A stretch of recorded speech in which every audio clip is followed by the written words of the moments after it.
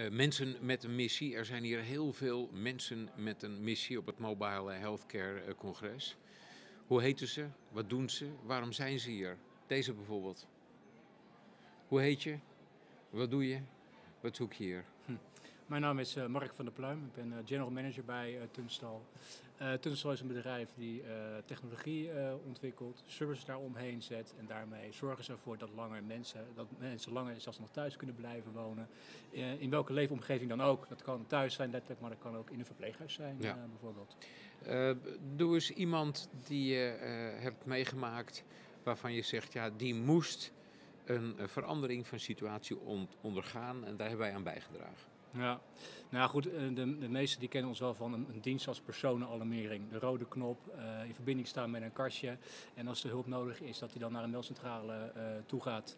Uh, dat doen we voor heel veel, heel veel mensen bieden. Mhm. Maar we zien ook die markt ontzettend aan het veranderen is. En dat ook vooral familieleden, mantelzorgers veel meer betrokken willen worden in heel die, heel die keten. Ja, Zodat we daar veel meer aan toevoegen zijn de welbekende apps. En dat ook mantelzorgers signalen kunnen ontvangen op een, op een mobieltje.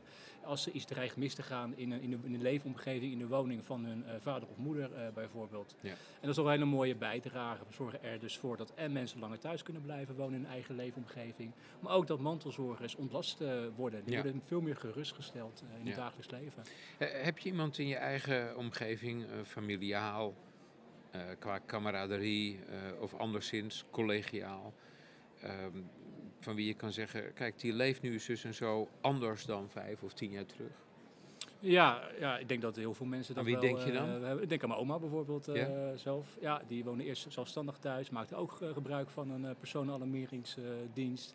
ja, toen ze een aantal malen gevallen is, dementerend werd. En werd toen eigenlijk ja, opgenomen in een, in een verpleeghuis. Die verhuisde dus. En dan zie je ook dat die technieken daaromheen ook veranderen. Dat ze mhm. opeens gebruik gaat maken van leefcirkels. Dus dat betekent dat zij wel kon bewegen in een, in een verpleeghuis.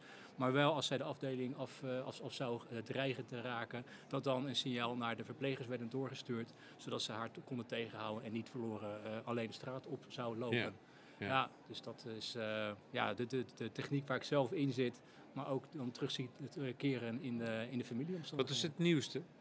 Het nieuwste is, um, is eigenlijk, um, ja, wij noemen het meer dat we op zoek zijn naar een digitale reis. Wat ik erg mhm. veel omheen uh, zie, zijn hele mooie toepassingen, hele nieuwe toepassingen. Uh, maar eigenlijk voor de, voor, de, voor de klant, voor de consument van morgen. Mm -hmm. En we houden onvoldoende rekening met, uh, met, met de klanten van vandaag de dag. Dus wat ik mooi vind is, is eigenlijk om die beide groepen te kunnen bedienen. Eigenlijk gaat het allemaal vloeiend over in een bepaalde dienstverlening. En niet, we hebben vandaag een stuk techniek, op het gebied van analoog bijvoorbeeld, en morgen is het digitaal. Nee, neem die klant mm. mee aan de hand en ga mm. samen op reis. Maar kijk ook, kan de klant ermee overweg uh, gaan? We hebben allemaal iPads, we hebben allemaal smartphones. Maar ook in de sessies vandaag die we hebben gezien, daar zie je gewoon ook terugkeren dat iedereen gebruik kan maken van een iPad. Ja. Nou, bedenk dan een andere oplossing. Die wel uh, passend is voor de, voor de doel, uh, doelgroep. En, en, zie je ook een grens, of vooralsnog een grens, uh, waarvan je zegt, ja, hier voorbij wordt het toch wel heel veel? Of gaat het misschien wel heel snel, of anderszins? Is er een grens? Uh, is denk ik moeilijk aan te geven wat er echt een grens uh, is. Ik bedoel, tien jaar geleden dachten we ook misschien niet dat we zo ver zouden zijn als vandaag de dag uh, zijn. Of misschien dachten we dat we juist verder zouden zijn. Ja. Maar alles rondom data, het verzamelen van data bijvoorbeeld, dat is toch wel ja, voor een hoop mensen een grijs gebied eigenlijk nog. Van wie is die data? Wat gaan we met die data mm. doen? Privacy aspecten en dergelijke. Ja, dat is toch wel een nieuwe omgeving uiteindelijk. Mm. Maar ik denk als we positief in, inzetten, die, die data, dat het wel ten goede zal komen van, van de zorgverlening uiteindelijk. -hmm. we hebben steeds meer minder mensen die zorg verlenen, uh, steeds grotere uh, groep mensen die uh, die zorg nodig hebben. Ja, hoe gaan we dat matchen? Hoe, hoe kan dat? Nou, data. Met Polen? Met Polen bijvoorbeeld, ja, ja. Maar we zouden het ook met technologie kunnen doen. We zouden het ook met data kunnen doen. En ervoor zorgen dat mensen de zorg krijgen die het ook echt nodig hebben. Ja, ja. toch is dat ook echt wel een, een, een grote vraag voor veel mensen er zijn ontegenzeggelijk enorme uh, voordelen verbonden aan die uh, technologische innovaties. En tegelijkertijd is er het humane aspect. Mm. Uh, een cijfer is één ding, een mens is een ander ding. Hoe verhoudt zich nou die, die, kwalitatieve progressie op, op, op dit technische gebied tot de fundamentele behoefte van mensen om contact te hebben met een ander levend wezen? Ja. Ja, ik denk dat we ook misschien wel te vaak praten over, uh, over bewoording techniek. En Mhm. techniek eh, geeft misschien bepaalde angst. Mhm. Eh, dat zien we ook aan, aan de gebruikers, aan oudere mensen, mensen met een chronische ziekte bijvoorbeeld, die techniek moeten gebruiken. Ja. Als we zeggen van u moet techniek gebruiken, dan schrikt dat vaak af. Maar als we dan een andere bewoording aangeven of we eh, Ja, eh, passen het in een bepaald proces, dan is het normaal geworden. Mhm. Zoals een timmerman een hamer gebruikt eh, bijvoorbeeld, ja, gebruiken zorgprofessionals ook bepaalde tools. En ja, we moeten het ons eigen maken eh, uiteindelijk. Nee, dat snap ik. Maar ik, eh, eh, ik, ik ken ook mensen die zeggen, ja, die, die technische innovatie op dat en dat punt, hè, die zou ik graag inleveren voor een, een, een bezoekje van die ene persoon, zeven minuten op één dag. Want dat contact met die persoon, daar Mm. beleef ik zelf meer aan Ja, dan de technische progressie op dat andere puntje. Hè. ja. Maar de techniek kan er misschien ook juist wel voor zorgen dat ze dan die persoonlijke aandacht krijgen op dat punt. Omdat of Ja, door dat? Omdat die techniek ondersteuning eh, biedt, waardoor de zorg misschien efficiënter wordt eh, ingeregeld. Ja. En er meer Eh, tijd vrijkomt bij het Precies, verplegend personeel ja, om... ja. En wij geloven daar ook wel in dat dat de juiste inzet van techniek is.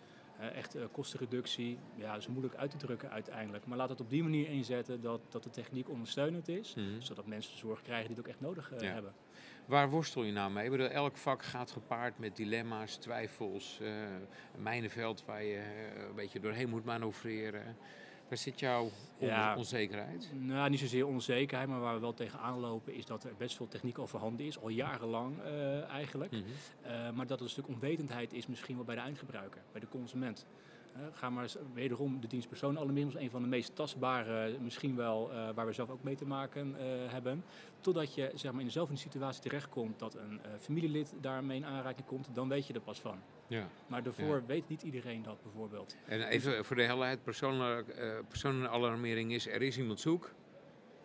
Kan, eh, Ja. maar het zou ook zo zijn als iemand zich onveilig voelt, gevallen is, drukt op een rode knop, maakt verbinding met een meldcentrale en dan wordt de zorg ingeschakeld. Een zorgprofessional of een mantelzorger bijvoorbeeld, die is vrij tastbaar, die dienst herkenbaar misschien wel, totdat je ermee te maken eh, krijgt. Mhm. Maar alles ervoor niet.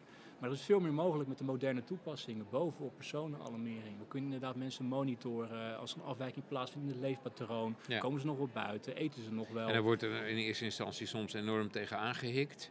Maar op het moment dat er iets fout gaat, eh, is er die behoefte van... Goh, hadden we dat ook in dat opzicht maar beter precies. geregeld? Ja, en dan gaan ze misschien pas zoeken eh, naar een bepaalde oplossing. Maar waar gaan ze zoeken? Mhm. Eigenlijk zien we vandaag dat de zorgorganisaties, die zijn, ja, ik noem maar plat, een commercieel misschien, eh, de verkopers van, van deze technieken.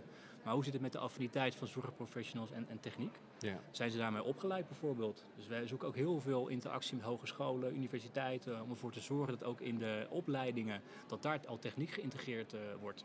Ja. En dat de wetendheid eh, is. Want wij staan er nog steeds van te kijken, bijvoorbeeld, ehm, dat we als een rookmelder eh, koppelen aan een persoonalalarmtoestel. Dat wij denken van, nou, eh, halleluja. Ja. Ehm, ehm, maar er zit een doormelding achter. En dat is een, een, een, een, positief iets ten opzichte van een, een rookmelder van de bouwmarkt bijvoorbeeld. Die gaat hard gillen als het aan de hand is. En dan? En dan? Als er niemand in de buurt Ja, is, dan blijft hij lekker doorgillen. En dat is een heel makkelijk voorbeeld, maar nog steeds zijn er onvoldoende mensen die daar weet van hebben.